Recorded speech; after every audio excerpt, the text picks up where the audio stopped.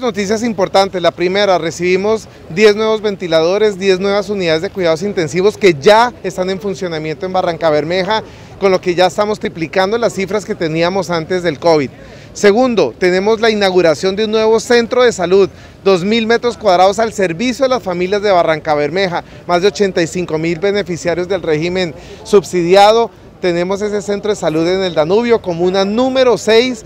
con unas instalaciones que ustedes las van a conocer, excelentes y hechas para la calidad de vida de los barranqueños. Tercero, tenemos nuestro pelotón COVID también con el Ejército Nacional, ayudándonos a mantener el control y la tranquilidad de todas las familias barranqueñas. Cuarto, le hemos mostrado nuevas estrategias al ministro de Salud para que nos apoye, entre esos nuevos puestos de salud, nuevos centros de salud que queremos construir como el de la comuna número 3, como la modernización del de la comuna 4, pero además de eso, de poder elevar el nivel de Barranca Bermeja en la atención de los servicios de nuestros centros de salud, lo cual va a ser un proceso también de estos meses. Pero con todo esto lo que le estamos diciendo a Barranca Bermeja es que años y años de atraso nosotros los estamos recortando y cumpliendo con nuevas metas que nos hemos puesto desde el plan de desarrollo, de centros de salud modernos, de unidades de cuidados intensivos donde teníamos paseos de la muerte a tantas partes del país y que hoy van a quedar instaladas en Barranca Bermeja y ya están en funcionamiento.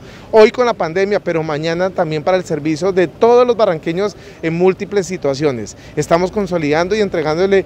un sistema de salud